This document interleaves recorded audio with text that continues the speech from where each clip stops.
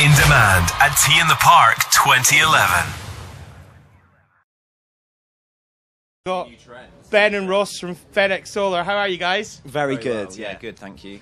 And there's my first problem with two microphones. I immediately put one to each of you.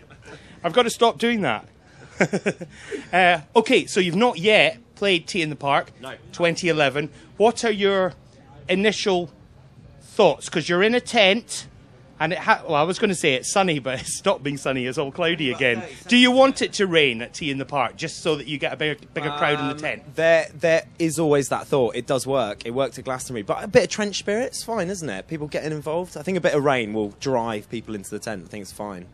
Glastonbury's a wonderful grounding for the big one, T in the Park. Yeah, absolutely. Yeah, yeah, go on. Exactly, just a warm up. Little warm up show for, of course, T in the Park. We're massively excited. It's going to be going to be very good. It's our, it's our only festival of Scottish festival of the summer, so yeah, we're really up for it. Yeah, it's gonna be great.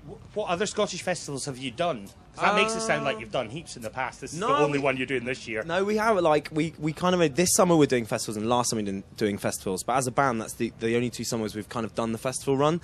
Uh, last year we did uh, Rockness, which was great. Um, but uh, yeah, but this it's all about T in the Park, definitely. So yeah, And do you get a chance to wander around the site and see what else is going on, or are you totally 100% focused on what you're doing at this stage? I suppose later is different. I think afterwards we're gonna go and uh, I mean we only got here about an hour ago and we go on in about an hour, so might not not, not much before, but definitely afterwards. Again, there's a lot of acts we want to go and see. It's a great lineup, so yeah. I, th- I think we're going to hang around in the tent that we're in for an hour afterwards while Metronomy play.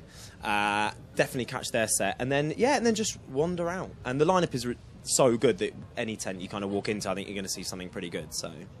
Obviously, you're now a well-known name. There, there's a lot of unsigned bands that play at T in the Park on the BBC introducing stage, on the T Break stage, and indeed on the Red Bull stage that you're playing on, who, who've got through uh, via voting the Red Bull Bedroom Jam uh, thing. So. Um, a a lot of them do have flyers that they're handing out, saying, "Come and see us at so and so time." Yeah. Now, if you were doing that, and you knew there were lots of people at T in the Park who'd never heard of Fenech Soler, what would your flyer say?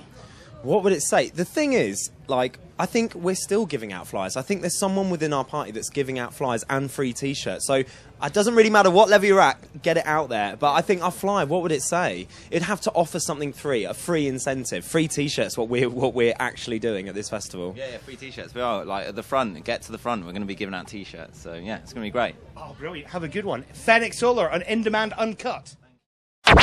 In demand at T in the Park 2011.